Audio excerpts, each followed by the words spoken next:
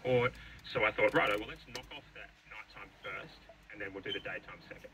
So